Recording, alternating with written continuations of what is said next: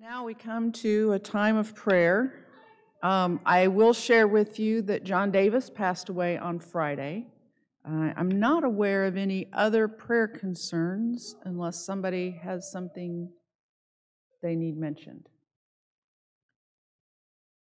All right, if you'll join me in prayer, we'll lift up those that we've mentioned and those on our hearts.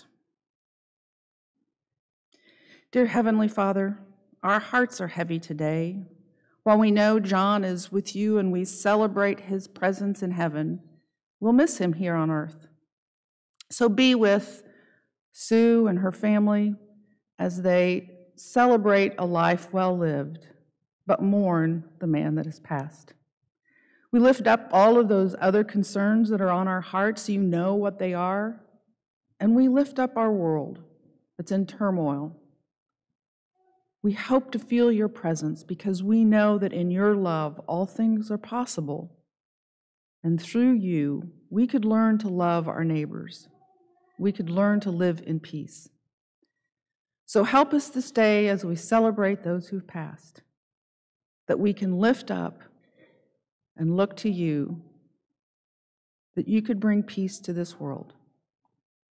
And let us follow your Son who taught us to pray Our Father, who art in heaven, hallowed be thy name. Thy kingdom come, thy will be done, on earth as it is in heaven. Give us this day our daily bread, and forgive us our trespasses, as we forgive those that trespass against us.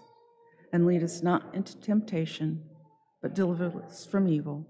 For thine is the kingdom, the power, and the glory forever and ever. Amen.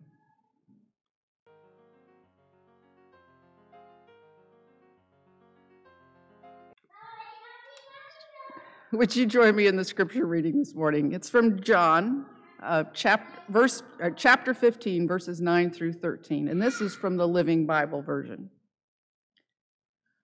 I have loved you even as the Father has loved me. Live within my love. When you obey me, you are living in my love, just as I obey my Father and live in his love. I have told you this so that you will be filled with joy. Yes, your cup of joy will overflow. I demand that you love each other as much as I love you. And here is how to measure it. The greatest love is shown when a person lays down their life for his friends.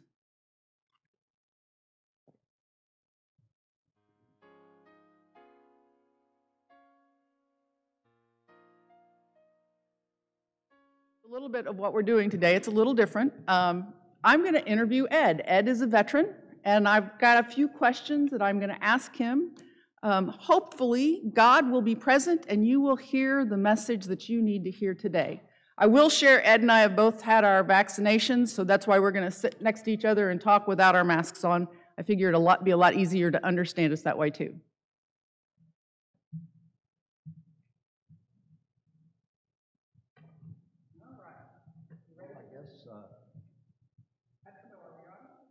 There, okay. I guess I'm supposed to tell kind of about my life. Uh, so I'll start out with uh, I was born on a farm, rural Jonesboro. Uh, was born at home. Uh, we lived on a farm at that time. That was 1931. A good while ago. Yeah. Uh, so, and as I started a school, I went to a one room school right north of Fairmount, uh, eight grades, one teacher, uh, outside toilets, outside pump for water. But uh, there was two of us in the first grade, just two of us. So we went there three years, and then they opened another school. Uh, on to high school, I was in uh, class of 1949, graduated. Class of James Dean, many of you have heard of. So he was a neighbor, knew him well as a kid. Uh, after high school, it was uh, that was 1949. So in in in about 1951, it looked as though uh, was going to be drafted in the army. Uh, some friends of mine uh, we talked to another man there in Fairmount who had been in World War II. And he said, Boys, whatever you do, don't get in the army. He said, I marched in Europe till blood came out of my shoes. So we trotted right up to the Navy recruiter, and he said, Yeah, I think I can get you in. So uh, we did. We, we joined the Navy. In January the 3rd, that was 1952, uh, got on a train. We went to Chicago and on up to Great Lakes Naval Training Center. Uh, got there late at night and they issued us a blanket, and that's about all. Got up early for breakfast. Chief Petty Officer White came in the barracks and he said, Boys, I'm going to be with you the rest of your time are here. And I looked at him and I thought, That's got to be the meanest man on earth. But we survived. Uh, soon as we began, soon as we began to shape up, he eased up too. So uh, that was the start. But I thought, oh, what have I got into? I've got four years ahead of me, you know. Oh. But uh, as time went on, it, it got better.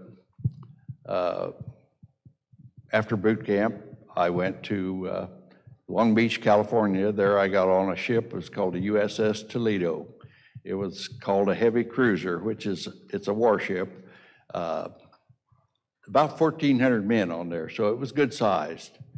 Uh, went to uh, Hawaii, on to Japan, and then off the coast of Korea. Uh, did a lot of, uh, they would fire the bigger guns. We'd be about three miles offshore. Uh, they would uh, fire on land. Now, I was I was on in the gunnery department when I first got on there, which is just you do you do the work, you swab the decks, and you do things like that. They needed somebody in supply department to be a storekeeper. Uh, I had had a year of typing in high school, and that allowed me to get go from the deck force to the supply department, which was good, was very good. So uh, we would be out off the coast of Korea for probably 30 days, and then then back in for four or five days, and then back out. Uh, but it was uh, it wasn't too bad. Uh, I thought, you know, I had a I had a good warm bed. I had three warm meals, good meals a day, and ship shipboard duty was pretty good. The nice thing about being on a ship you, you've always got something to look forward to. You're going someplace or you're coming back or there, there was always movement. So uh, one morning I, a dispatch came in and said, third class storekeepers with two years obligated service report to the commander of the Marianas, which was Guam. So went to transport, went to transit, uh, flew back to the States. In those days, that was a long flight because there weren't jets, it was propeller engines. Came home for 30 days, and went back to Guam. There I was in what they call a cargo handling battalion. Now, I didn't have to work, but they, it was where they offloaded the ships. Uh, we had Filipinos that did the work. We checked things as it came in. Uh, I, I, I, I hated it there. Did, there was nothing to do. It was, you know, Liberty five nights out of the week, but no place to go, nothing to do. You went to a movie, whether you'd seen it or not. It was an outdoor movie. Uh, even if it rained, I've sat there in the rain and watched movies. But, uh, but I, uh, I guess I had one experience which I, I guess I would uh, have to give the credit to God. Like I said, I was terribly unhappy. And uh, one day it just changed, you know, and I, my attitude changed. I'm, I'm going to stay here till I'm done. And, you know, that's, that was, that was kind of it. That was one of, one of the things that I think about it since then. And I, it, it, it had to be credit to somebody other than myself. So, uh, finally got out of the Navy, came back home, and uh, that was 19, I got out late 1955, so uh, I'm uh, with another friend, you know, we, we were looking for girls. Yeah, you know, yeah, we was always looking for something, you know. And uh, one said to me, he said, I bet I know somebody you'd like to go with. And I said, who was that? And he said, Emma Jean Anderson. Said, she's a, she's a senior at Ball State. I said, yeah, I remember her. I remember her from way back. I could tell you a little story if, if you'd like about when we first met. Yeah. Uh, She might not appreciate it, but we would. Well, anyway, uh, I just got out of high school and I was, I was a friend with her cousin, John Matchett, from Swayzee. Now, so one, Sunday evening, we were riding around and girls, some girls got out of MYF. They'd been to MYF. So we, we said to a couple of us, said, would you like to go to a movie? And, well, one of them was Emma, and she said, I have to go home and ask my mother if I can go. So since she was with her cousin John, she was allowed to go. And uh, now, get, get this, I was 17 years old at the time. I was a big shot, I out of high school, you know, I, you know. And I happened to ask her, how old are you? And she said, 14.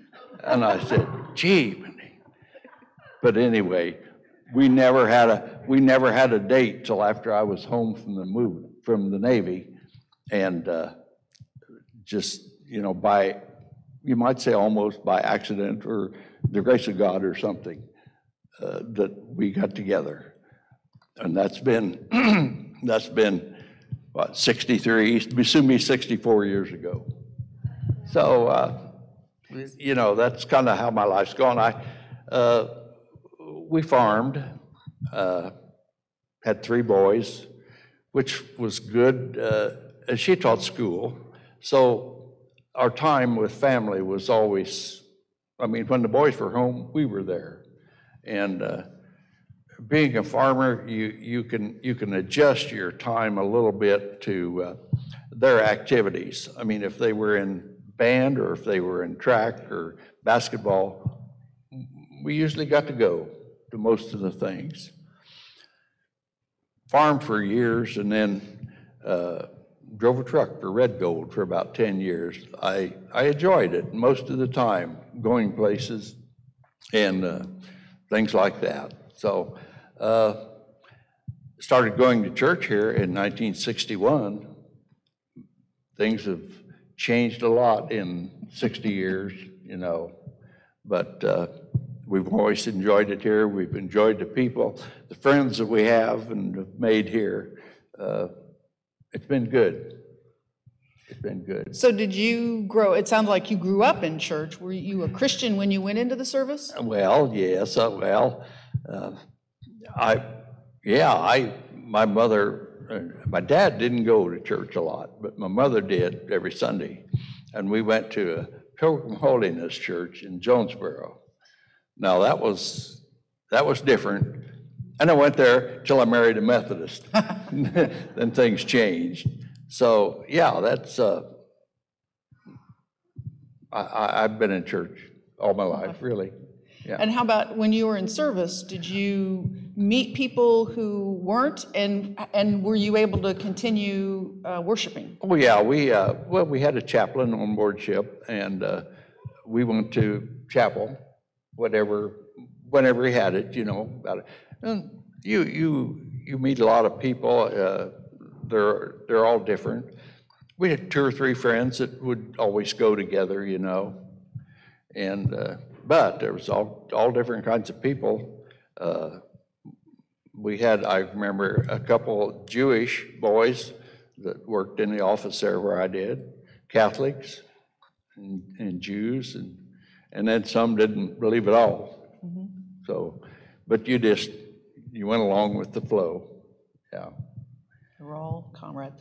Um, did, did your faith impact, do you think? Did it make it harder, easier?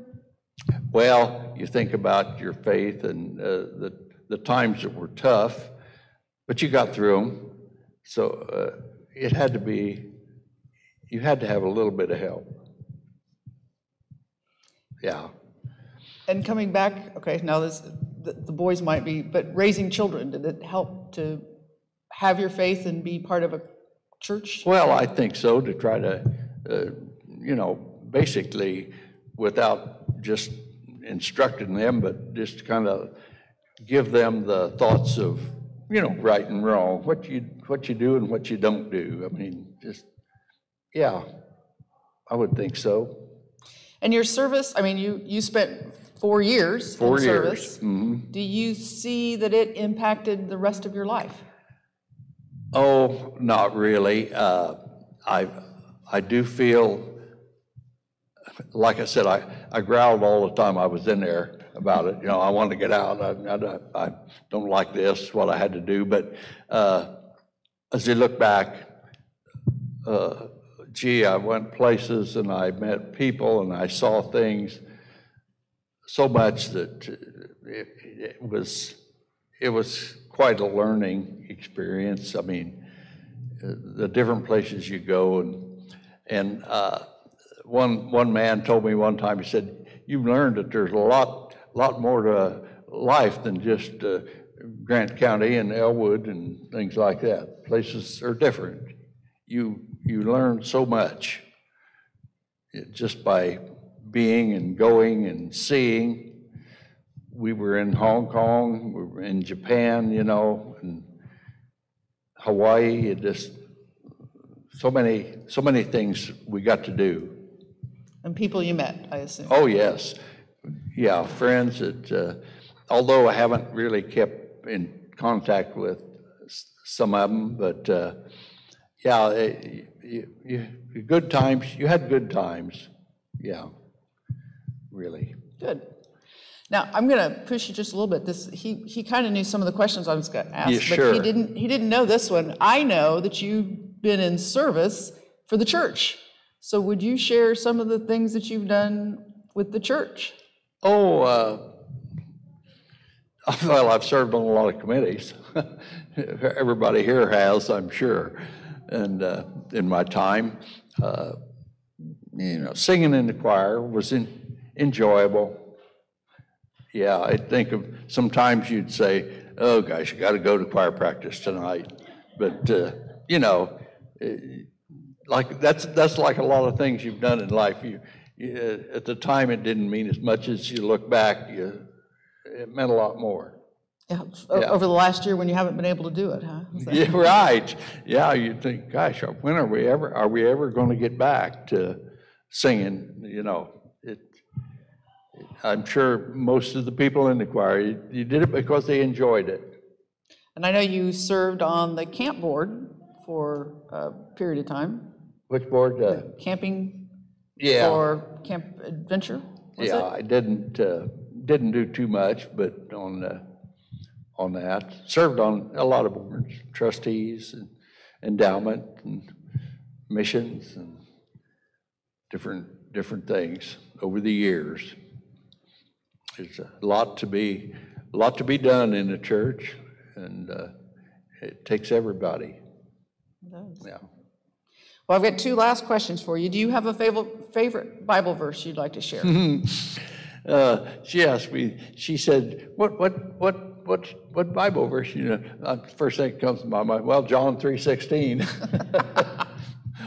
Remember how you used to see that at ball games and things? Somebody, I, I haven't seen that much lately, but you, you always thought, how'd that person, how'd that, how'd they get up there and get that right where the camera's going to see it? But yeah, yeah, and you know, God so loved the world loved everybody,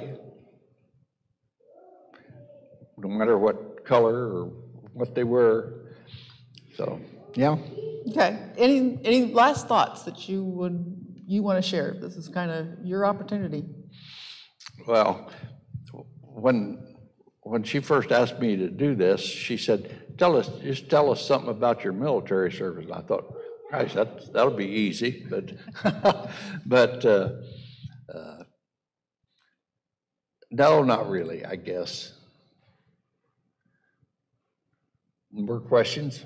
No, no. You're off the hook now, but I do want people, the reason I wanted to do this is because we celebrate Memorial Day and we look at, but we forget it's people. We, we see these big kind of organizations and, and they're all made up of individual people and they're all unique. Yeah. I, uh, I, I think about Memorial Day. I mean, Way back when I was a kid, we called it Decoration Day. Yeah. I don't know if any of you ever remember that.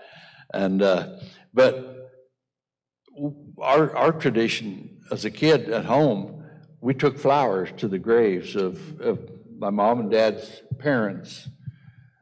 So we still do it. We take some flowers, we don't maybe leave them there a week or so and to both parents' graves. And uh, it seems like not a lot of people do that anymore much, so, I was just at the graveyard yesterday and I saw a dozen people. I go every week and usually I'll see nobody. So yeah. I think there's still some. Yeah.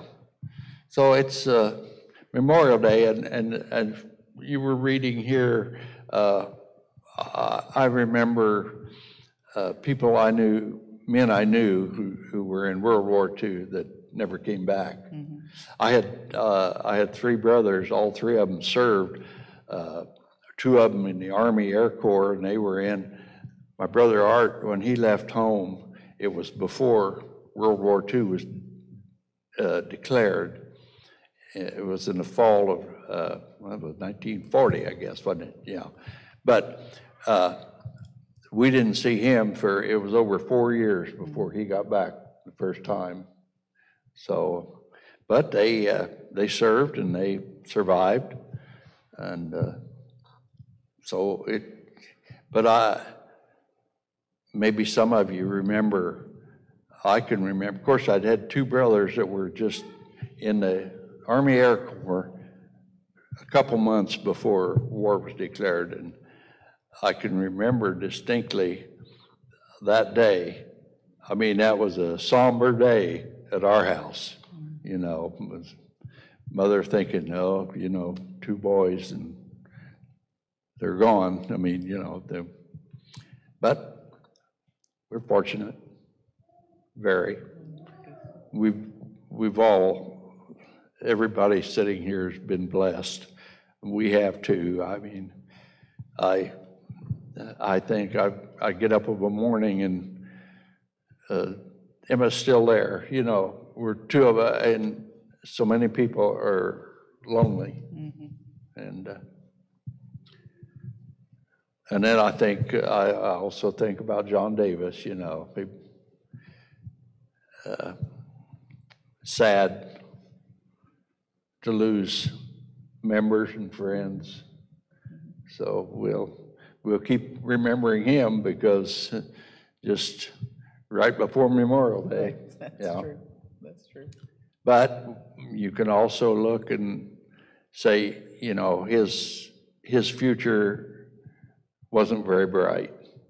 And Sure. as bad as you hate to see lose them, but sometimes they're better. Yeah, Oh, He's celebrating with Jesus right now. he is, he is, that's right. He's not, uh, he's not hurting. He's, he's able to, he's able to walk easy and get up and down and, There you go. and, uh, and his last, what, six weeks it's been, I expect, since he had the surgery, so. We've tried to be friends with Sue and, and help her and as much as we could because she's, she's by herself, you know. I mean, she doesn't have, uh, even though Laura comes often, uh, so uh, Emma's gone and just what she needed somebody to talk to, you know, just to be with, to help, Sure. yeah. Well, thank you. We appreciate all that you shared. Um, And I would ask all of you to remember all the people who are in service or those who have given their life. Yeah, there's a lot, uh, a lot of them that, uh, to be remembered, yep, a lot. I- At times probably are worse, the, the wars or conflicts that are today seem to be different than even when I was in. I mean, uh, some of the people coming home are uh, handicapped and, uh, and have a hard time uh, getting over it. The mental, mental, mental wounds, I guess you'd say. Yeah. Well, I think we will wrap up and let Shelley end us in a song. Thank you. Very good.